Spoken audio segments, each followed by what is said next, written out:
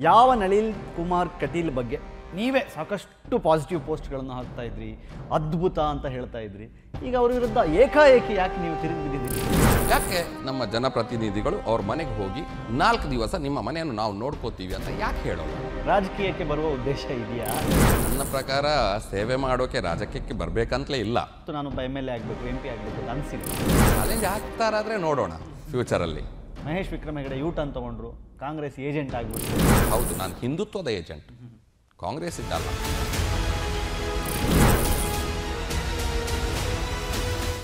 ನಮಸ್ಕಾರ T V ವಿಕ್ರಮದ ವಿಶೇಷ ಸಂದರ್ಶನಕ್ಕೆ ಸ್ವಾಗತ. ನಾನು ನಿಮ್ಮ ಕಿರಿಕೀರ್ತಿ ಕಳೆದ ಎರಡು ವಾರದಿಂದ ದಕ್ಷಿಣ ಕನ್ನಡ ಮಾತ್ರ ಅಲ್ಲ ರಾಜ್ಯದಲ್ಲೂ ಒಂದು ಎರಡು ಹೆಸರುಗಳು ತುಂಬ ಚಾಲ್ತಿಯಲ್ಲಿದೆ. ಒಂದು ಬಿ ಜೆ ಪಿಯ ರಾಜ್ಯಾಧ್ಯಕ್ಷ ನಳಿನ್ ಕುಮಾರ್ ಕಟೀಲ್. ಇನ್ನೊಂದು ಹೆಸರು ಮಹೇಶ್ ವಿಕ್ರಮ್ ಹೆಗಡೆ. ಸೋಷಿಯಲ್ ಮೀಡಿಯಾದಲ್ಲಿದ್ದವರು ಇವ ಈ ಹೆಸರನ್ನು ಸಾಕಷ್ಟು ಬಾರಿ ಕೇಳಿರ್ತೀರಿ. ಅಂದರೆ ಸಾಕಷ್ಟು ಬಾರಿ ಸಾಕಷ್ಟು ಕಾರಣಗಳಿಗೆ ಇವರು ಸುದ್ದಿ ಆಗ್ತಾ ಇರ್ತಾರೆ. ಹಾಗೆ ಈಗಲೂ ಇವರಿಬ್ಬರ ಹೆಸರು ಚಾಲ್ತಿಯಲ್ಲಿದೆ. ಇನ್ಫ್ಯಾಕ್ಟ್ ನರೇಂದ್ರ ಮೋದಿ ಅವರು ಓತ್ ತಗೊಳ್ಬೇಕಾದ್ರೆ ಇವರಿಗೆ ಇನ್ವಿಟೇಷನ್ ಬರುತ್ತೆ. ಅಷ್ಟರ ಮಟ್ಟಿಗೆ ಇವರು ಪಕ್ಷದ ಮತ್ತು ಸಂಘದ ಜೊತೆಗಿದ್ದವರು. ಈಗ all of the sudden Nalin Kumar Kateel ಅವರನ್ನು ವಿರೋಧಿಸೋಕ್ಕೆ ಕಾರಣ ಏನು? ಅವರ ವಿರುದ್ಧ ಇವರು ಕೆಲವು ಪೋಸ್ಟ್ಗಳನ್ನು ಹಾಕ್ತಿದ್ದಾರೆ. ಅದು ಬಿ ಜೆ ಪಿಯ ಕೆಲವು ವಲಯಗಳಲ್ಲಿ ಪ್ರಶ್ನೆ ಮೂಡಿದೆ. ಸೊ ಹಾಗಾಗಿ ನನಗೂ ಅದರ ಬಗ್ಗೆ ಸಾಕಷ್ಟು ವಿಚಾರಗಳನ್ನು ತಿಳ್ಬೇಕು ತಿಳ್ಕೊಳ್ಬೇಕಾಗಿದೆ. ಆ ಕಾರಣಕ್ಕೋಸ್ಕರ ಇವತ್ತು ನನ್ನ ಜೊತೆಗೆ ಮಹೇಶ್ ವಿಕ್ರಮ್ ಹೆಗಡೆ ಅವರು ಇದ್ದಾರೆ. ಅವ್ರನ್ನೇ ಮಾತಾಡಿಸ್ತಾ ಹೋಗೋಣ. ನಮಸ್ಕಾರ ಮಹೇಶ್ ಅವರ. ಕಾರ್ಯಕ್ರಮಕ್ಕೆ ಸ್ವಾಗತ. ನಮಸ್ತೆ. ಮೊದಲನೇದಾಗಿ ಹೇಳಿ ಯಾವ ನಳಿನ್ ಕುಮಾರ್ ಕಟೀಲ್ ಬಗ್ಗೆ ನೀವೇ ಸಾಕಷ್ಟು ಪಾಸಿಟಿವ್ ಪೋಸ್ಟ್ಗಳನ್ನು ಹಾಕ್ತಾ ಇದ್ರಿ. ಅದ್ಭುತ ಅಂತ ಹೇಳ್ತಾ ಇದ್ರಿ. ಈಗ ಅವ್ರ ವಿರುದ್ಧ ಏಕಾಏಕಿ ಯಾಕೆ ನೀವು ತಿರುಗಿ ಬಿದ್ದಿದ್ದೀರಿ? ಇಲ್ಲ. ತಪ್ಪು. ನಾನು ನಳಿನ್ ಕುಮಾರ್ ಕಟೀಲ್ರವರ ವಿರೋಧ ಮಾಡ್ತಾ ಇಲ್ಲ. ಇಲ್ಲಿ ವೈಯಕ್ತಿಕ ದ್ವೇಷ ಇಲ್ಲ. ಎರಡು ಸಾವಿರದ ಹದಿನಾಲ್ಕರಾಗಲಿ ಹತ್ತೊಂಬತ್ತಾಗಲಿ ನಾವು ಮೋದಿಜಿಯವರ ಹೆಸರಲ್ಲಿ ಮತ ಕೇಳಿದ್ದೇವೆ. ಇವತ್ತು ಒಂದು ಏನೋ ತಪ್ಪಾದಾಗ ಅಥವಾ ಅಭಿವೃದ್ಧಿ ಕುಂಠಿತವಾದಾಗ ಪ್ರಶ್ನೆ ಮಾಡ್ತಾ ಇದ್ವಿ. ಇದು ವೈಯಕ್ತಿಕ ದ್ವೇಷ ಅಲ್ಲ. ಇದು ರಿಪೇರಿ ಕೆಲಸ. ಇಲ್ಲಿ ಒಂದು ಮೆಕ್ಯಾನಿಕ್ ಕೆಲಸ ನಾವು ಮಾಡ್ತಾ ಇದ್ದೀವಿ. ನಾವು ಕಡಿಮೆ ಅಂಶ ನಳಿನ್ ಕುಮಾರ್ ಕಟೀಲ್ರವರ ಬಗ್ಗೆ ಒಂದು ಮುನ್ನೂರು ನಾಲ್ನೂರು ಐನೂರು ಕಂಟೆಂಟ್ಗಳು ಹಾಕಿರ್ಬೋದು. ಪಾಸಿಟಿವ್ ಪಾಸಿಟಿವ್ ಕಂಟೆಂಟ್ ಹಾಕಿರ್ಬೋದು. ನಾಳೆ ಅವ್ರು ಒಳ್ಳೆ ಕೆಲಸ ಮಾಡಿದಾಗ ಮತ್ತೆ ನಾವು ಪಾಸಿಟಿವ್ ಹಾಕ್ತೀವಿ. ಆದ್ದರಿಂದ ಇಲ್ಲಿ ಅವರನ್ನು ವಿರೋಧಿಸ್ತಿಲ್ಲ. ಇದು ವಿಷಯ ಏನಾಯಿತು ಅಂತ ನಾನು ನಿಮಗೆ ಹೇಳ್ತೀನಿ. ಮಂಗಳೂರಲ್ಲಿ ಒಂದು ಬಸ್ಸಲ್ಲಿ ಅನ್ಯ ಧರ್ಮದ ಒಂದು ಹುಡುಗನ ಜೊತೆ ಒಂದು ಹುಡುಗಿ ಪ್ರಯಾಣಿಸ್ತಿರುವಾಗ ಒಂದು ನಾಲ್ಕು ಹಿಂದೂ ಕಾರ್ಯಕರ್ತರನ್ನು ಅವರು ಕಾರ್ಯಕರ್ತರು ಅದನ್ನು ವಿರೋಧಿಸ್ತಾರೆ. ವಿರೋಧಿಸಿದಾಗ ಅವರೊಂದು ವಿಡಿಯೋ ಮಾಡ್ತಾರೆ. ಈ ವಿಡಿಯೋ ಹಿಡ್ಕೊಂಡು ಮಂಗಳೂರಲ್ಲಿ ಇವ್ರ ಮೇಲೆ ಸುಮೋಟೋ ಕೇಸ್ ಆಗುತ್ತೆ. ಅಂದರೆ ಸರ್ಕಾರನೇ ಇವ್ರ ಮೇಲೆ ಕೇಸ್ ಹಾಕುತ್ತೆ. ಇದರ ಹಿಂದೆ ಎರಡು ದಿವಸದ ಹಿಂದೆ ಜನರಲ್ ಬಿಪಿನ್ ರಾವತ್ರ ಬಗ್ಗೆ ಕೆಟ್ಟದಾಗಿ ಕಮೆಂಟ್ ಮಾಡಿದವರ ಹೆಸರಲ್ಲಿ ಕೇಸ್ ಕೊಟ್ಟಾಗ ಒಂದು ನ್ಯೂಸ್ ಬರುತ್ತೆ ತಜ್ಞರೊಂದಿಗೆ ಮಾತುಕತೆ ನಡೆಸಿ ಸೂಕ್ತ ತನಿಖೆ ನಡೆಸಲಾಗುವುದು ಅಂತ. ಇಲ್ಲಿ ಈ ಕೇಸಲ್ಲಿ ಸುಮೋಟೋ ಕೇಸ್ ಹಾಕುವಂತ ಆ ಇಂಟ್ರೆಸ್ಟ್ ಏನು? ಯಾರು ಕೇಸ್ ಕೊಟ್ಟಿಲ್ಲ. ಬಟ್ ವಿಷಯದ ಇಂಟೆನ್ಸ್ ಅಷ್ಟಿತ್ತ? ಅಲ್ಲಿ ಅದು ಅಲ್ಲಿ ಕಾಮನ್ ಆಗಿ ನಡೆಯುವಂಥ ವಿಷಯಗಳು ಅಲ್ಲಿ ಲವ್ ಜಿಹಾದ್ ಅದು ಇನ್ನೊಂದು ಸಲ ನಾವು ಮಾತಾಡ್ಬೋದು ಆ ವಿಷಯದಲ್ಲಿ. ಬಟ್ ಇಲ್ಲಿ ನಾವು ಏನಾಯಿತು ಅಂದರೆ ನನಗೆ ನೋವಾಗಿದ್ದೇನೆಂದರೆ ಸುಮೋಟೋ ಕೇಸ್ ಹಾಕಿದರು. ಅದು ರಾಜ್ಯಾಧ್ಯಕ್ಷರ ಕ್ಷೇತ್ರದಲ್ಲಿ. ಹಿಂದುತ್ವ ಅಂತ ನಾವು ಹೇಳಿ ಏನು ಓಟ್ ಪಡಿತೀವಿ ನಾವು ಆ ಕಾರ್ಯಕರ್ತರಿಗೆ ರಕ್ಷಣೆ ಕೊಡಲೇಬೇಕು. ನಾಯಕರಾದವರು ರಕ್ಷಣೆ ಕೊಡಲೇಬೇಕು. ಆಯಿತು ಕೇಸ್ ಆಯಿತು. ತೊಂದರೆ ಇಲ್ಲ. ಕೇಸ್ ಆದ ನಂತರ ವಾಟ್ಸಪ್ಪಲ್ಲಿ ಒಂದು ಸಂದೇಶ ಬಂತು. ಈ ನಾಲ್ಕು ಜನ ಮನೆಯವರು ತುಂಬ ಬಡತನದಲ್ಲಿದ್ದಾರೆ. ಅವರಿಗೆ ಐದೈದು ಸಾವಿರ ಕೊಡೋಣ ಅಂತ. ಭಿಕ್ಷೆ ಬೇಡೋಕೆ ಶುರು ಮಾಡಿದರು. ಯಾಕೆ ನಮ್ಮ ಜನಪ್ರತಿನಿಧಿಗಳು ಅವ್ರ ಮನೆಗೆ ಹೋಗಿ ನಾಲ್ಕು ದಿವಸ ನಿಮ್ಮ ಮನೆಯನ್ನು ನಾವು ನೋಡ್ಕೋತೀವಿ ಅಂತ ಯಾಕೆ ಹೇಳೋಲ್ಲ? ನಿಮ್ಗೆ ಬೇಕಾದ ಅಕ್ಕಿ ಸಾಮಾನು ನಾವು ಹಾಕ್ತೀವಿ ಅಂತ ಯಾಕೆ ಹೇಳೋಲ್ಲ? ಇದನ್ನು ನಾನು ಪ್ರಶ್ನೆ ಮಾಡಿರೋದು. ಅಲ್ಲಿ ದುರ್ಬಲ ಅಂತ ನಾನೊಂದು ಹಾಕಿದ್ದೆ. ಇದು ಅವ್ರಿಗೆ ತುಂಬ ಹರ್ಟ್ ಆಗಿದೆ. ಹರ್ಟ್ ಆಗಿದೆ. ನನ್ನ ಪ್ರಕಾರ ಟೀಕೆಯನ್ನು ತೆಗೊಳ್ಳೋದವನು ನಾಯಕ ಆಗಿ ಬೆಳೆಯೋಕ್ಕೆ ಸಾಧ್ಯ ಇಲ್ಲ. ಅದು ಇದು ನಾನು ಬಹಿರಂಗ ಪತ್ರ ಬರೆದ ತಕ್ಷಣ ಮಾರನೇ ದಿನ ಒಂದು ಪ್ರೆಸ್ ಕಾನ್ಫರೆನ್ಸ್ ಮಾಡ್ತಾರೆ. ಅದನ್ನು ಕೇಳಬೇಕಿತ್ತು. ಅಂದರೆ ಸಹಜವಾಗಿ ಯಾವುದೇ ಪೊಲಿಟಿಷಿಯನ್ ಬಗ್ಗೆ ಯಾರಾದರೂ ಮಾತಾಡಿದ್ರೆ ಇಗ್ನೋರ್ ಮಾಡ್ತಾರೆ. ಅಯ್ಯ ಬಿಡ ಅವನೇನ ಮಾತಾಡ್ಕೋತಾನೆ ಅಂತಾರೆ. ಆದರೆ ಮಹೇಶ್ ವಿಕ್ರಮ್ ಹೆಗಡೆ ಒಂದು ಬಹಿರಂಗ ಪತ್ರ ಬರೆದು ಒಂದು ಪೋಸ್ಟ್ ಮಾಡಿದ ಕೂಡಲೇ, ದಕ್ಷಿಣ ಕನ್ನಡ ಜಿಲ್ಲೆಯ ಅಧ್ಯಕ್ಷರೂ ಸೇರಿದಂತೆ ಬಿ ಜೆ ಪಿ ಅಧ್ಯಕ್ಷರೂ ಸೇರಿದಂತೆ ಎಲ್ಲ ಸೇರಿಕೊಂಡು ಪ್ರೆಸ್ ಮೀಟ್ ಕರೆದು ನಿಮ್ಮ ಹೆಸರನ್ನು ಉಲ್ಲೇಖ ಮಾಡದೆ ನಿಮ್ಮ ಬಗ್ಗೆಯೇ ಮಾತಾಡ್ತಾ ಒಂದು ಪ್ರೆಸ್ ಮೀಟ್ ಮಾಡ್ತಾರೆ. ಸೊ ಯಾಕೆ ನೀವು ಅಷ್ಟು ದೊಡ್ಡ ಮ್ಯಾಟ್ರ್ ಆಗ್ತೀರಾ ಅವರಿಗೆ? ದೇಶದಲ್ಲೇ ಮೋದಿ ಹೆಸರಲ್ಲಿ ಓಟ್ ಕೇಳಿದವ್ರು ನಾವು. ಒಂದು ಸ್ವಲ್ಪ ಕೆಲಸ ಮಾಡಿದ್ದೀವಿ. ಇಲ್ಲ ಅಂತ ಹೇಳೋಲ್ಲ. ನಾನು ಎಷ್ಟು ಮುಖ್ಯ ಆಗಿದ್ದೀನ ಗೊತ್ತಿಲ್ಲ. ಆದರೆ ಯಾರೋ ದಾರಿ ಹೋಗ್ರು ಟೀಕೆ ಮಾಡಿದರೆ ಪ್ರೆಸ್ ಕಾನ್ಫರೆನ್ಸ್ ಮಾಡಲ್ಲ. ಪ್ರೆಸ್ ಕಾನ್ಫರೆನ್ಸ್ ಮಾಡಿದಾರ ಅಂತ ಅಂದರೆ ಅದರ ಅರ್ಥ. ಪ್ರಾಮುಖ್ಯತೆ ಇದೆ ಅಂತ ಅರ್ಥ. ಇರಲಿ. ಅಲ್ಲಿ ಪ್ರೆಸ್ ಕಾನ್ಫರೆನ್ಸಲ್ಲಿ ಅವರೊಂದು ಪದ ಯೂಸ್ ಮಾಡ್ತಾರೆ. ಸಾಮಾಜಿಕ ಜಾಲತಾಣದಿಂದ ಪಕ್ಷ ಕಟ್ಟೋಕ್ಕಾಗೋಲ್ಲ ಹಿಂದುತ್ವ ಕಟ್ಟೋಕ್ಕಾಗೋಲ್ಲ ಅತೃಪ್ತ ಆತ್ಮಗಳು ಸಾಮಾಜಿಕ ಜಾಲತಾಣದಲ್ಲಿರುವವರು. ಕಾಂಗ್ರೆಸ್ ಏಜೆಂಟು ಅಂತ. ಅಂದರೆ ಹಿಂದೆ ಬಿ ಜೆ ಪಿಗೆ ಸಲಹೆಗಾರರಾಗಿದ್ದರು ಈಗ ಕಾಂಗ್ರೆಸ್ಸಿಗೆ ಸಲಹೆಗಾರರಾಗಿದ್ದಾರೆ ಅಂತ ಅವರು ನಮಗೆ ಇಲ್ಲ. ಎಕ್ಸಾಂಪಲ್ ಅಲ್ಲ ನಮಗೆ ಹೇಳಿದ್ದಾರೆ. ಅಂದರೆ ಅಲ್ಲ ಪ್ರಶಾಂತ್ ಕಿಶೋರ್ ಅವ್ರ ಎಕ್ಸಾಂಪಲ್ ಕೊಟ್ಬಿಟ್ಟು ಅವ್ರು ಅಲ್ಲಿದ್ರು ಅಲ್ಲಿದ್ರು ಅಲ್ಲಿಂದ್ರೆ ಅಲ್ಲಿಂದ ಇಲ್ಲಿ ಹೋದ್ರು ಅದೇ ಥರ ಇವರು ಸೋಷಿಯಲ್ ಮೀಡಿಯಾದವರು ಇವತ್ತು ದುಡ್ಡು ಕೊಟ್ಟರೆ ಇಲ್ಲಿರ್ತಾರೆ ನಾಳೆ ದುಡ್ಡು ಕೊಟ್ಟರೆ ಅಲ್ಲಿ ಹೋಗ್ತಾರೆ ಅಂತ ಒಂದು ಒಂದು ಸಾಲ್ ಯೂಸ್ ಮಾಡಿದ್ದಾರೆ. ನಾನು ನಾನು ಹೇಳೋದು ಅವ್ರು ದೂಡಿದ್ರು ನಾವು ಹೋಗೋಲ್ಲ. ಅವ್ರು ದೂಡಿದ್ರು ನಾವು ಹೋಗೋಲ್ಲ. ನಾವು ಇಲ್ಲೇ ಇದ್ಕೊಂಡು ರಿಪೇರಿ ಕೆಲಸ ಮಾಡ್ತೀವಿ. ಇದು ಮಾಡಲೇಬೇಕು ಇದು ಏನಕ್ಕೆ ನಾವು ಮಾಡ್ತಾ ಇದ್ದೀವಿ ಅಂತ ಒಂದು ಮಾತು ಹೇಳ್ತೀನಿ ನಿಮಗೆ. ಎರಡು ಸಾವಿರದ ಇಪ್ಪತ್ನಾಲ್ಕಕ್ಕೆ ಮೋದಿಜಿಯವರಿಗೆ ಎಪ್ಪತ್ತ ಮೂರು ವರ್ಷ ಆಗುತ್ತೆ. ಹದಿನಾಲ್ಕು ಮತ್ತು ಹತ್ತೊಂಬತ್ತರಲ್ಲಿ ಮೋದಿಯವರು ದೇಶ ಸುತ್ತಿ ಎಲ್ಲ ಎಂ ಪಿಗಳನ್ನು ಗೆಲ್ಲಿಸಿದ್ದಾರೆ ಕರೆಕ್ಟ್ ಈ ಎಪ್ಪತ್ತ್ಮೂರು ವರ್ಷದ ಪ್ರಾಯದ ಮೋದಿಜಿಗೆ ಎಪ್ ಇಪ್ಪತ್ನಾಲ್ಕರಲ್ಲಿ ಎಲ್ಲ ಎಂ ಪಿಗಳು ಹೇಳಬೇಕು ನೀವು ಇನ್ನು ದೇಶ ಸುತ್ತೋದು ಬೇಡ ನೀವು ಅಲ್ಲೇ ಕೂತ್ಕೊಳ್ಳಿ. ನಮ್ಮ ಕೆಲಸ ನಾವು ಮಾಡಿ ನಾವು ಕೆಲಸ ಮಾಡಿ ನಿಮ್ಮನ್ನು ಗೆಲ್ಲಿಸ್ತೀವಿ. ಅನ್ನುವ ಒಂದು ಉಡುಗೊರೆ ಇವರು ಕೊಡಬೇಕಾಗಿರೋದು. ಈ ಸಲನೂ ಮೋದಿ ಅವ್ರ ಹೆಸರು ಹೇಳ್ಕೊಂಡೇ ಬರಬಾರ್ದು. ಮೂರು ವರ್ಷಕ್ಕೂ ಅವ್ರ ದೇಶ ಸುತ್ತಬೇಕಾ ಇವರು ಕೆಲಸ ಮಾಡಿಲ್ಲ ಅಂದರೆ ನಾವು ಬಿಡುವುದಿಲ್ಲ ಇದು ತಪ್ಪು ಅವ್ರು ಮಾಡ್ತಾ ಇರೋದು ತಪ್ಪು. ಅಲ್ಲಿ ಅವರೊಂದು ಮಾತು ಹೇಳಿದ್ದಾರೆ ಎಂ ಎಲ್ ಎ ಆಗುವ ಆಸೆ. ಹೌದು. ಎಂ ಪ್ರಶ್ನೆ. ರಾಜಕೀಯಕ್ಕೆ ಬರುವ ಉದ್ದೇಶ ಇದೆಯಾ? ಅಥವಾ ರಾಜಕೀಯಕ್ಕೆ ಬರೋಕ್ಕೆ ಮುಂಚೆ ಇಂತಹ ಕೆಲವೊಂದನ್ನು ಮಾಡಬೇಕಾ? ಅಂದರೆ ನಾನು ಹೇಳ್ತಾ ಇರೋದು ಗಿಮಿಕ್ ಅಂತಲ್ಲ ಆದರೆ ರಾಜಕೀಯಕ್ಕೆ ಬರೋಕ್ಕೆ ಮುಂಚೆ ನಾನು ಸ್ವಲ್ಪ ಲೈಮ್ ಲೈಟಿಗೆ ಬರಬೇಕು ಅಥವಾ ಕಾಣಿಸ್ಕೋಬೇಕು. ಅದನ್ನು ಅದು ನನ್ನ ಕ್ಷೇತ್ರದಲ್ಲಿ ಇರುವಂತಹ ನನ್ನ ಶಾಸಕರನ್ನೇ ಟಚ್ ಮಾಡಿದ್ರೆ ಆ ಭಾಗದಲ್ಲಿ ನಾನು ಸ್ವಲ್ಪ ಶೈನ್ ಆಗ್ಬೋದು ಅನ್ನೋದೇನಾದರೂ ಇದೆಯಾ ಮೈಂಡಲ್ಲಿ ಅಂತ?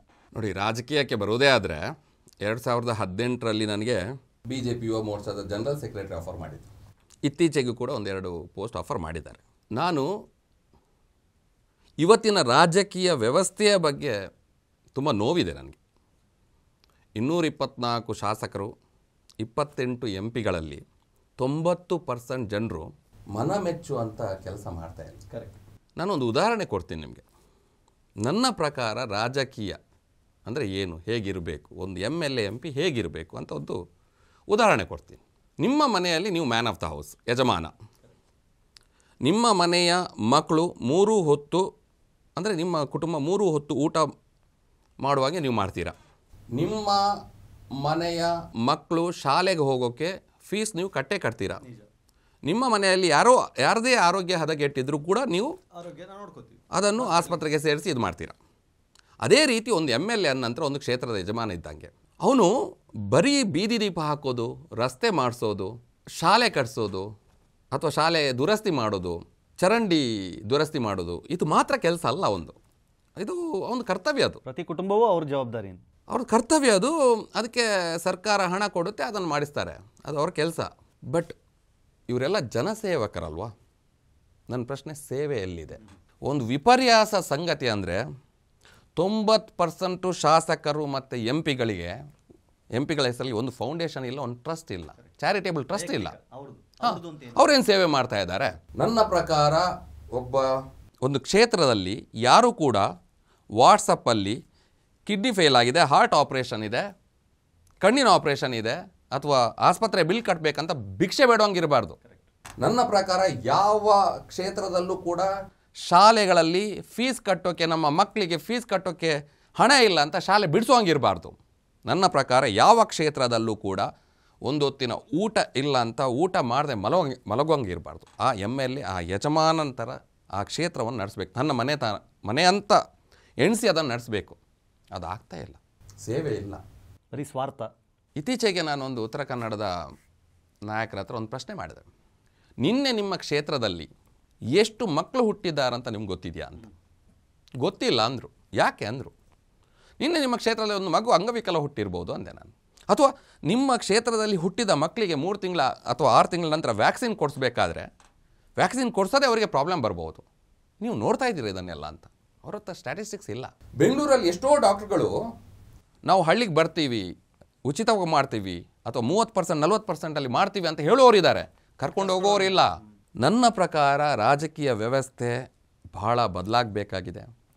ಕ್ಲೀನ್ ಆಗಬೇಕಾಗಿದೆ. ಇಷ್ಟೆಲ್ಲ ರಾಜಕೀಯ ಐಡಿಯಾ ಇರೋರು ಅಥವಾ ರಾಜಕೀಯದ ಬಗ್ಗೆ ತಿಳ್ಕೊಂಡವರು ರಾಜಕಾರಣಿಗಳ ಜೊತೆಗೆ ಇರುವವರು ಆದರೆ ನಿಮಗೆ ಯಾಕೆ ರಾಜಕೀಯಕ್ಕೆ ಬರಬೇಕು? ನಾನು ಒಂದು ಎಂ ಎಲ್ ಎ ಆಗಬೇಕು ಎಂ ಪಿ ಆಗಬೇಕು. ಅಂದರೆ ಸೋಷಿಯಲ್ ಮೀಡಿಯಾದಲ್ಲಿ ಕುತ್ಕೊಂಡು ಆಗಲ್ಲ ಅಂತ ಹೇಳಿದ ಮಾತ್ರಕ್ಕೆ ಅಸಾಧ್ಯ ಅಂತಲ್ಲ. ಸೋಷಿಯಲ್ ಮೀಡಿಯಾನ ಈ ದೇಶದ ಪ್ರಧಾನಮಂತ್ರಿಗಳೇ ಒಪ್ಕೊಂಡಿದ್ದಾರೆ. ಅಥವಾ ಅಮೆರಿಕಾದಂಥ ದೊಡ್ಡ ದೊಡ್ಡ ಎಲೆಕ್ಷನ್ಗಳು ಸೋಷಿಯಲ್ ಮೀಡಿಯಾ ಎಷ್ಟು ದೊಡ್ಡ ಮ್ಯಾಟ್ರ್ ಆಗುತ್ತೆ ಅಂತ ಗೊತ್ತಾಗಿದೆ. ಬಟ್ ನಿಮಗೆ ಯಾಕೆ ಯಾವತ್ತು ನಾನೊಬ್ಬ ಎಂ ಎಲ್ ಎ ಆಗಬೇಕು ಎಂ ಪಿ ಆಗಬೇಕು ಅಂತ ಅನಿಸಿಲ್ವಾ? ನನ್ನ ಪ್ರಕಾರ ಸೇವೆ ಮಾಡೋಕೆ ರಾಜಕೀಯಕ್ಕೆ ಬರಬೇಕಂತಲೇ ಇಲ್ಲ. ಸಮಾಜ ಸೇವೆ ಹೇಗೂ ಮಾಡ್ಬೋದು. ಚಾಲೆಂಜ್ ಆಗ್ತಾರಾದರೆ ನೋಡೋಣ ಫ್ಯೂಚರಲ್ಲಿ ಸೋಷಿಯಲ್ ಮೀಡಿಯಾದಲ್ಲಿ ಆಗಬಾರ್ದಂತ ಇಲ್ಲ. ಬಟ್ ಭವಿಷ್ಯ ನಮ್ಗೆ ಗೊತ್ತಿಲ್ಲ. ಬಟ್ ಅಟ್ ಪ್ರೆಸೆಂಟ್ ಇಲ್ಲ. ನಾವು ಈ ರೀತಿ ಪ್ರಶ್ನೆ ಮಾಡೋಕ್ಕೆ ನಮಗೊಂದು ಸಣ್ಣ ಸಣ್ಣ ಮಟ್ಟಿನ ಒಂದು ಅಹಂಕಾರ ಇದೆ. ಏನು ಹೇಳ್ತೀನಿ ಅದು.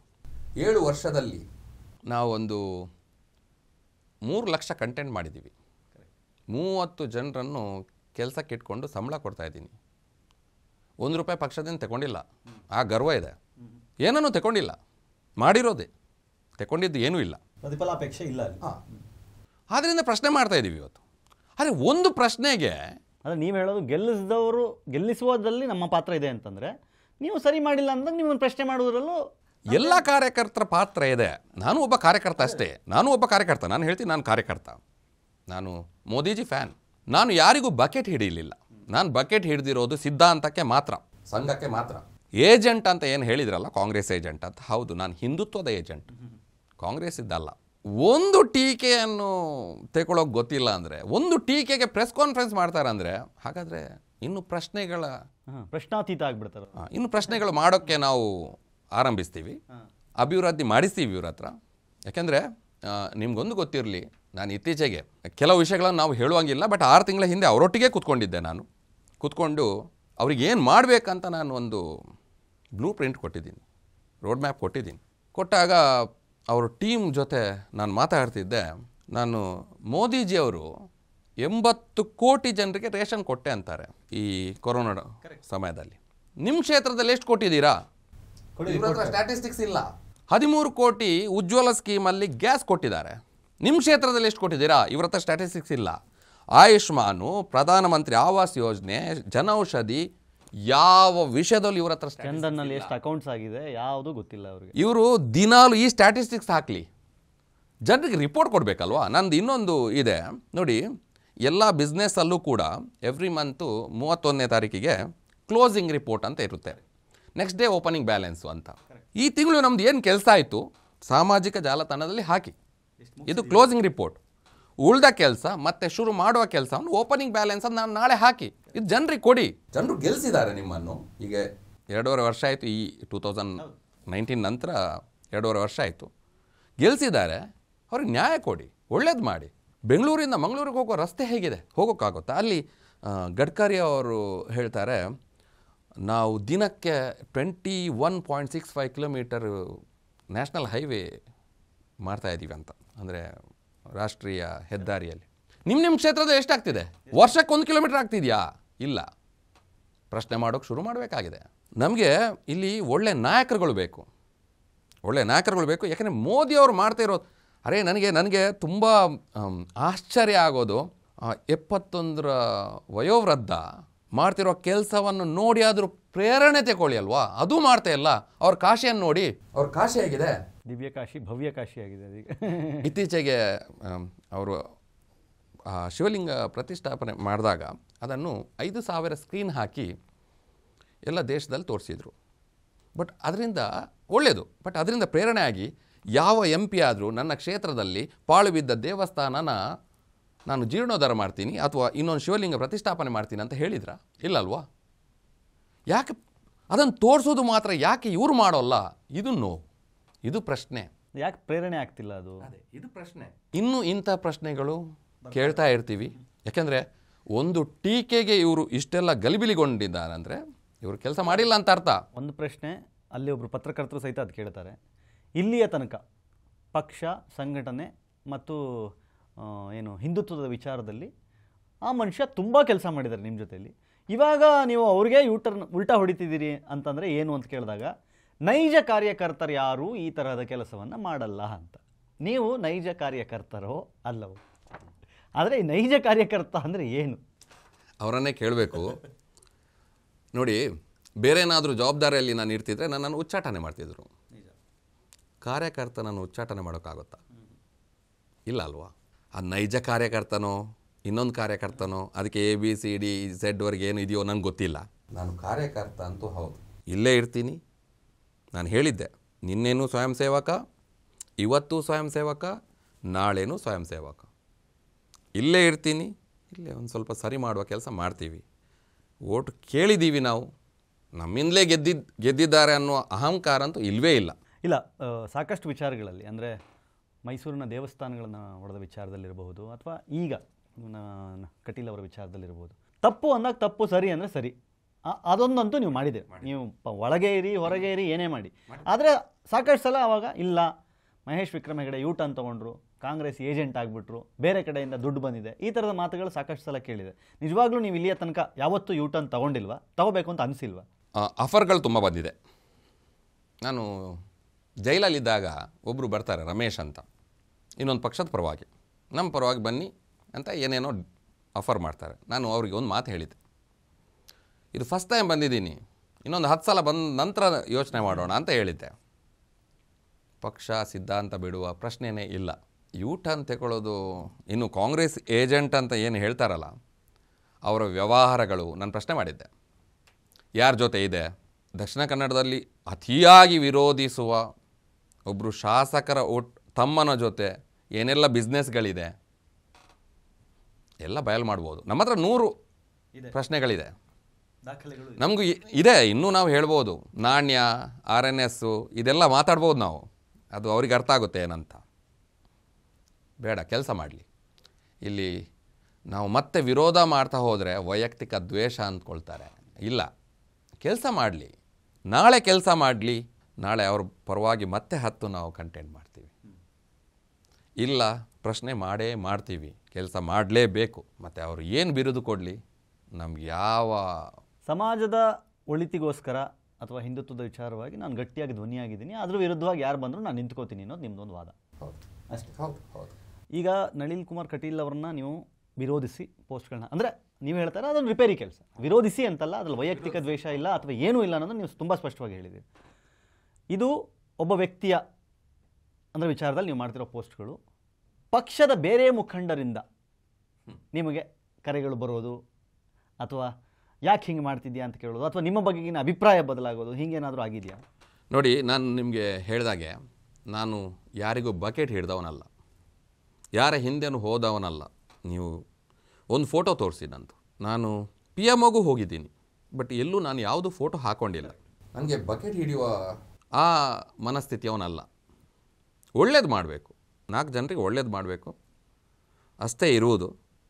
ಹಾಂ ಎಷ್ಟೋ ಸಂಘದ ಹಿರಿಯರು ಕಾ ಕಾಲ್ ಮಾಡಿದ್ದಾರೆ. ನೀನು ಹೋಗ್ತಾ ಇರೋದು ಸರಿಯಾಗಿದೆ?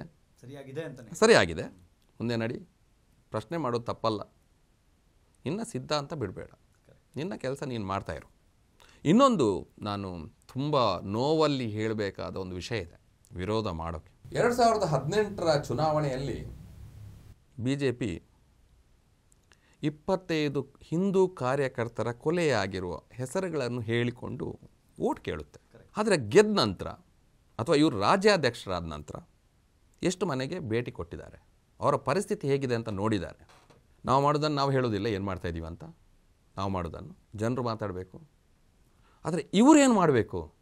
ಅವ್ರ ಹೆಸರು ಹೇಳ್ಕೊಂಡು ಗೆದ್ದು ಏನಾದರೂ ಮಾಡಬೇಕು ಪ್ರತಿ ಮನೆಯಲ್ಲಿ ನಾನು ಹೇಳ್ತೀನಿ ಪರೇಶ್ ಮೇಸ್ತನ್ ಮನೆಯಲ್ಲಿ ಅವ್ರ ಪರಿಸ್ಥಿತಿ ಹೇಗಿದೆ ಗೊತ್ತಾ? ಪ್ರಶಾಂತ್ ಪೂಜಾರಿ ಮನೆಯಲ್ಲಿ ಪರಿಸ್ಥಿತಿ ಹೇಗಿದೆ ಗೊತ್ತಾ? ರುದ್ರೇಶು ಕುಟ್ಟಪ್ಪ ಶರತ್ ಮಾಡಿವಾಳ ದೀಪಕ್ ರಾವ್ ಇವ್ರ ಮನೆ ಪರಿಸ್ಥಿತಿ ಹೇಗಿದೆ ಗೊತ್ತಾ? ಇವ್ರ ತಾಯಿಯಂದ್ರ ಹೆಸರು ಗೊತ್ತಾ? ಇವ್ರ ಹೆಂಡತಿಯರ ಹೆಸರು ಗೊತ್ತಾ? ಇವ್ರ ಮಕ್ಕಳ ಹೆಸರು ಗೊತ್ತಾ ಇವರಿಗೆ? ತಪ್ಪಲ್ವಾ? ಹೋಗಿ ಭೇಟಿ ಕೊಡಿ. ನೀವು ತಗೊಳ್ಳೋ ಕಮಿಷನಲ್ಲಿ ಒಂದು ಪಾಯಿಂಟ್ ಒನ್ ಪರ್ಸೆಂಟ್ ಅವ್ರ ಮನೆಗೆ ಕೊಡಿ, ಸಾಕು, ಖುಷಿ. ಸಾಕು ಅಷ್ಟೇ. ಬಟ್ ಒಂದು ಅರ್ಥ ಆಗಿದ್ದು, ಅಂದರೆ ಎಲ್ಲ ಪಕ್ಷದಲ್ಲೂ ಆ ಪಕ್ಷದ ಮುಖವಾಣಿಯ ಹಾಗೆ ಸಾಕಷ್ಟು ಸೋಷಿಯಲ್ ಮೀಡಿಯಾ ಪೇಜ್ಗಳು ಇರುತ್ತದೆ ಅವು ಹೇಗೆ ಅಂತಂದರೆ, ಸರಿ ಮಾಡು, ತಪ್ಪು ಮಾಡು, ಏನೇ ಮಾಡು ನಿನ್ನ ಜೊತೆಗೆ ನಾನಿರ್ತೀನಿ ಅಂತ ನಿಲ್ಲುವಂತಹ ಕೆಲವು ಮುಖವಾಣಿಗಳು. ಎಲ್ಲ ಪಕ್ಷದ್ದು ಸಹಿತ ಆ ಥರದ್ದೊಂದು ಮುಖವಾಣಿಗಳಿದೆ. ಹಾಗೆ ಮಹೇಶ್ ವಿಕ್ರಮ ಹೆಗಡೆ ಅವರ ವಿಚಾರಕ್ಕೆ ಬಂದಾಗ, ಏ ಬಿ ಜೆ ಪಿಲಿ ಸರಿಯಾಗಲಿ, ತಪ್ಪಾಗಲಿ, ಪಕ್ಷದಲ್ಲಿ ಸರಿಯಾಗಲಿ, ತಪ್ಪಾಗಲಿ, ಮಹೇಶ್ ವಿಕ್ರಮ ಹೆಗಡೆ ಅವರು ಪರವಾಗೇ ನಿಂತ್ಕೋತಾರೆ. ಅನ್ನುವಂಥ ಒಂದು ಮಾತಿತ್ತು. ಅದು ಈಗ ಸ್ವಲ್ಪ ಮಟ್ಟಿಗೆ ಸಣ್ಣ ಬದಲಾವಣೆ ಕಾಣ್ತಾ ಇದೆ. ಇಲ್ಲ ನಾನು ತುಂಬ ಸಲ ವಿರೋಧಿಸಿದ್ದೀನಿ. ಒಂದು ವರ್ಷದ ಒಂದು ಒಂದೂವರೆ ವರ್ಷದ ಹಿಂದೆ ಒಂದು ನಾಯಕರ ಬಗ್ಗೆ ಹೇಳಿದ್ದೆ ಬಿ ಜೆ ಪಿ ಅವ್ರದ್ದು. ಅಲ್ಲಿಂದೊಂದು ನನಗೆ ಕಾಲ್ ಬರುತ್ತೆ. ಸರ್ ತಪ್ಪಿ ನಮ್ಮ ನಾಯಕರ ಫೋಟೋ ಹಾಕಿದ್ದೀರಾ ಅಂತ. ನಾನು ಹೇಳ್ತೀನಿ ತಪ್ಪಿ ಅಲ್ಲ. ಬೇಕಂತಲೇ ಬೇಕಂತಲೇ ಹಾಕಿದ್ದೀನಿ ಅಂತ. ತೆಗೆಯಲ್ವಾ? ಇಲ್ಲ. ಅಲ್ಲಿ ನೀವು ಬಿ ಜೆ ಪಿ ಪರವಾಗಿ ಅಲ್ಲ ನಾನು ಹೇಳಿದೆ ನಾನು ಎಲ್ಲಿ ಹೇಳಿದ್ದೀನಿ ಬಿ ಜೆ ಪಿಯ ಮುಖವಾಣಿ ಅಂತ? ತಪ್ಪಾದರೆ ತಪ್ಪು ಅಂತ ಹೇಳ್ತೀನಿ. ನನಗೆ ಈ ಸಿದ್ಧಾಂತ ಇಷ್ಟ ಆ ಸಿದ್ಧಾಂತದ ಪರವಾಗಿದ್ದೀನಿ. ಒಂದು ಇಪ್ಪತ್ತು ಪರ್ಸೆಂಟ್ ದೋಷವನ್ನು ಎತ್ತಿ ಹಿಡಿದು ಎಂಬತ್ತು ಪರ್ಸೆಂಟ್ ದೋಷ ಇರುವವರಿಗೆ ಲಾಭ ಮಾಡಬಾರ್ದು ಅನ್ನೋ ಒಂದು ಮನಸ್ಥಿತಿಯಲ್ಲಿದೆ. ಬಟ್ ಇಲ್ಲಿ ಸಿದ್ಧಾಂತದಲ್ಲಿ ಒಳ್ಳೆಯದೆ ಬಟ್ ಕೆಲವು ವ್ಯಕ್ತಿಗಳಲ್ಲಿ ಹಂಡ್ರೆಡ್ ಪರ್ಸೆಂಟ್ ದೋಷ ಇದ್ದರೆ ಏನು ಮಾಡಲಿ? ವಿರೋಧ ಮಾಡಲೇಬೇಕು. ಮಾಡಲೇಬೇಕು. ಅದನ್ನು ಮಾಡ್ತಾ ಇದ್ದೀನಿ. ಮತ್ತು ಕಾರ್ಯಕರ್ತರ ಮನಸ್ಸನ್ನು ಅರಿಯದ ನಾಯಕ ಅವನು ರಾಜ್ಯಾಧ್ಯಕ್ಷನಾದ್ರೇನು ಸಂಸದ ಆದ್ರೇನು ಶಾಸಕ ಏನು ಒಬ್ಬ ಕಾರ್ಯಕರ್ತ ಪ್ರಶ್ನೆ ಮಾಡಿದ ತಕ್ಷಣ ಅವ್ನು ಕಾಂಗ್ರೆಸ್ ಏಜೆಂಟ್ ಅಂತ ಅಂದ್ರೆ ಅಂತಾರೆ ಅಂದರೆ ಅವ್ರು ನಾಯಕರಲ್ಲ ಅವ್ರ ನಾಯಕರಕ್ಕೆ ಲಾಯಕೆ ಅಲ್ಲ. ಒಂದು ಮನೆಯಲ್ಲಿ ಒಂದು ಫ್ಯಾಮಿಲಿಯ ಎಷ್ಟೇ ದೊಡ್ಡವನಾದರೂ ಸಹಿತ ತಾಯಿನೋ ಹೆಂಡತಿನೋ ಮಕ್ಕಳು ಸರಿ ಇದನ್ನ ಸರಿ ತಪ್ಪು ಅಂದ್ರೆ ತಪ್ಪು ಅಂತ ಹೇಳೋ ಇದ್ದೇ ಇರ್ತದೆ. ಜೋಕು ಮಾಡಿದ್ರು. ಎರಡು ಸಾವಿರದ ಹತ್ತೊಂಬತ್ತರಲ್ಲಿ ಇವರು ಸಪೋರ್ಟ್ ಮಾಡಿದ್ದಾರೆ ಈಗ ವಿರೋಧಿಸ್ತಾರೆ ಯಾಕೆ ಅಂತ? ಎಷ್ಟು ಜೋಕ್ ಅಲ್ವಾ? ಇದಕ್ಕೆ ಉತ್ತರ ಜನರು ಕೊಟ್ಟಿದ್ದಾರೆ. ನನ್ನ ಪ್ರಕಾರ ದಕ್ಷಿಣ ಕನ್ನಡದಲ್ಲಿ ಪ್ರಪ್ರಥಮ ಬಾರಿಗೆ ಇಷ್ಟೊಂದು ವಿರೋಧ ಆಗಿರೋದು ಒಂದು ಹತ್ತು ಹದ್ ಸಾಮಾಜಿಕ ಜಾಲತಾಣದಲ್ಲಿ ಅಂತೂ ನಾನು ನೋಡಿದಂಗೆ ಹತ್ತು ಹದಿನೈದು ಸಾವಿರ ಜನ ವಿರೋಧಿಸಿದ್ದಾರೆ. ಅಟ್ಲೀಸ್ಟ್ ಇಲ್ಲಿಂದ ಪ್ರಶ್ನೆ ಮಾಡುವ ಸಂಸ್ಕೃತಿ ಆರಂಭ ಆಗಲಿ ಅಂತ ನನ್ನ ಆಸೆ. ಪ್ರಶ್ನೆ ಮಾಡಲಿ. ಅಂದರೆ ನಮ್ಮ ಕ್ಷೇತ್ರ ನಮ್ಮ ಕ್ಷೇತ್ರಕ್ಕೆ ಒಳ್ಳೇದು ಮಾಡಬೇಕು. ನಮ್ಮ ಕ್ಷೇತ್ರಕ್ಕೆ ಒಳ್ಳೇದು ಮಾಡಲಿ. ನನಗೆ ದೇಶ ಧರ್ಮ ಸಮಾಜ ಜೊತೆ ಅಭಿವೃದ್ಧಿನೂ ಆಗಬೇಕು. ನಮ್ಮದು ನಾನು ಯಾವಾಗಲೂ ಹೇಳ್ತಾ ಇರ್ತೀನಿ. ಮಹೇಶ್ ಅವರು, ನಿಮ್ಮ ಅಜೆಂಡಾ ಏನಂತ ಕೇಳಿದಾಗ ದೇಶ ಸೇವೆ, ಧರ್ಮ ಸೇವೆ, ಸಮಾಜ ಸೇವೆ, ಪ್ಲಸ್ ಅಭಿವೃದ್ಧಿ ಇದಾಗಬೇಕು ಅಂತ. ಇದಾದರೆ ಮಾತ್ರ ಅವನು ಒಳ್ಳೆ ನಾಯಕನಾಗ್ತಾನೆ. ಫೈನಲಿ ಅಂದರೆ ಒಂದು ಸಾಕಷ್ಟು ಪ್ರಶ್ನೆಗಳಿಗೆ ಉತ್ತರ ಸಿಕ್ಕಿದೆ. ಆದರೆ ಕೊನೆಯದಾಗಿ ಅಂದರೆ ನಾನು ಹೇಳೋದು, ನಳಿನ್ ಕುಮಾರ್ ಕಟೀಲ್ ಅವರಿಗೆ ಏನು ಹೇಳಲಿಕ್ಕೆ ಇಷ್ಟಪಡ್ತೀರಿ? ಹಾಗೆ ನಳಿನ್ ಕುಮಾರ್ ಅವರ ಅಭಿಮಾನಿಗಳಲ್ಲೂ ಕೆಲವ್ರಿಗೊಂದು ಪ್ರಶ್ನೆ. ಅಂದರೆ ಅದು ಹೇಗೆ ಒಂದು ದ್ವಂದ್ವದಲ್ಲಿದ್ದಾರೆ ಅವರು ಇವಾಗ. ಅಂದರೆ ಮಹೇಶಣ್ಣನ ನಳಿನಣ್ಣನ ಅಂತ ಒಂದು ಒಂದು ಕನ್ಫ್ಯೂಷನಲ್ಲಿದ್ದಾರೆ ಅವರಿಗೆ ಸಾಕಷ್ಟು ಉತ್ತರಗಳು ಸಿಗಬೇಕಾಗಿದೆ. ಹಾಗಾಗಿ ನೇರವಾಗಿ ಅವ್ರಿಗೆ ಏನು ಹೇಳಲಿಕ್ಕೆ ಇಷ್ಟಪಡಿ ಅಭಿವೃದ್ಧಿ ಮಾಡಿ ಕೆಲಸ ಮಾಡಿ ಕಾರ್ಯಕರ್ತರ ಮನಸ್ಸನ್ನು ಅರಿಯಿರಿ. ಇನ್ನು ಕೆಲಸ ಮಾಡಿಲ್ಲ ಅಂದರೆ ಅಭಿಮಾನಿಗಳು ಹೇಗೆ ಉಟ್ಕೊಳ್ತಾರೆ? ಸ್ವಲ್ಪ ಚೇಲಗಳಿರ್ತಾರೆ ನಾಯಕರಿಗೆ. ಅಷ್ಟೇ. ಒಳ್ಳೆ ಕೆಲಸ ಮಾಡಲಿ. ಅಲ್ಲ ನಾವು ತುಂಬ ಮಾತುಗಳನ್ನು ಕಂಟ್ರೋಲ್ ಮಾಡಬೇಕಾಗುತ್ತೆ. ಮುಂದೆ ನೋಡೋಣ. ಇನ್ನೂ ಕೆಲಸ ಮಾಡಿಲ್ಲ ಇನ್ನೂ ಹೀಗೆ ಆದರೆ ಮುಂದೆ ಪ್ರಶ್ನೆಗಳ ಸರಮಾಲೆಗಳಿದೆ. ಹಾಗೆ ತುಂಬ ನಾವು ಹೊರಗೆ ಹಾಕ್ತೀವಿ ನಾವು. ಹೊರಗೆ ಹಾಕ್ತೀವಿ ಬಿಡುವುದಿಲ್ಲ. ರಿಪೇರಿ ಕೆಲಸ ಆಗಲೇಬೇಕು. ದಕ್ಷಿಣ ಕನ್ನಡಕ್ಕೆ ಮತ್ತು ಇಡೀ ಕರ್ನಾಟಕಕ್ಕೆ ನ್ಯಾಯ ಸಿಗಲೇಬೇಕು. ಇದು ಒಬ್ಬರು ಸಂಸದರಿಗೆ ಪ್ರಶ್ನೆ ಅಲ್ಲ. ಕರ್ನಾಟಕದ ಎಲ್ಲ ಸಂಸದರಿಗೂ ಮತ್ತು ಎಲ್ಲ ಶಾಸಕರುಗಳಿಗೂ ಪ್ರಶ್ನೆ. ಇದು ಈವನ್ ಪಕ್ಷಾತೀತವಾಗಿ. ನೀವು ಸೇವೆ ಮಾಡಿ. ಎಲ್ಲ ಶಾಸಕರಿಗೂ ನೀವು ಸೇವೆ ಮಾಡಿ. ನಾವು ಸಪೋರ್ಟ್ ಮಾಡ್ತೀವಿ. ಥ್ಯಾಂಕ್ ಯು ಇಷ್ಟೊತ್ತು ಇದು ಸಾಕಷ್ಟು ಪ್ರಶ್ನೆಗಳಿಗೆ ಉತ್ತರ ಕೊಟ್ಟಿದ್ದೀರಿ. ಸಾಕಷ್ಟು ಜನರಿಗೆ ಅದೊಂದಿತ್ತು ಕ್ವಶನ್ ಮಾರ್ಕ್ ಏನಕ್ಕೆ? ಏನು ಕಾಲ್ ಆಫ್ ದ ಅನ್ನು ಕೆಲವರಿಗೆ ಸಂಪೂರ್ಣ ವಿಚಾರಗಳು ಗೊತ್ತಿರಲಿಲ್ಲ. ಹಾಗಾಗಿ ಸಾಕಷ್ಟು ಪ್ರಶ್ನೆಗಳಿಗೆ ಉತ್ತರ ಕೊಟ್ಟಿದ್ದೀರಿ. ಧನ್ಯವಾದ ಇಷ್ಟೊತ್ತು ನಮ್ಮ ಜೊತೆ ನಮಸ್ತೆ. ಧನ್ಯವಾದ. ಇದು ಈ ಹೊತ್ತಿನ ವಿಶೇಷ. ಟಿ ವಿ ವಿಕ್ರಮದಲ್ಲಿ ಇವತ್ತು ನಮ್ಮ ಜೊತೆಗೆ ಮಹೇಶ್ ವಿಕ್ರಮ ಹೆಗಡೆ ಅವರು ಇದ್ದು ಯಾಕೆ ಏನೆಲ್ಲ ಆಯಿತು ಕಳೆದ ಮೂರು ಎರಡು ಮೂರು ವಾರದಲ್ಲಿ ಅನ್ನೋದನ್ನು ಎಕ್ಸ್ಪ್ಲೈನ್ ಮಾಡಿದ್ದಾರೆ. ಇದು ಈ ಹೊತ್ತಿನ ವಿಶೇಷ. ನಮಸ್ಕಾರ. ಟಿವಿ ವಿಕ್ರಮ ದೇಶ ನಿಮ್ಮ ಕೈಯಲ್ಲಿ. ಟಿವಿ ವಿಕ್ರಮ ವಾಹಿನಿಯ ಕಾರ್ಯಕ್ರಮಗಳ ನಿರಂತರ ವೀಕ್ಷಣೆಗೆ ನಮ್ಮ ಚಾನೆಲ್ ಅನ್ನ ಸಬ್ಸ್ಕ್ರೈಬ್ ಮಾಡಿ ಬೆಲ್ ಬಟನ್ ಒತ್ತಿ ಲೈಕ್ ಮಾಡಿ ಶೇರ್ ಮಾಡಿ. ಧನ್ಯವಾದಗಳು.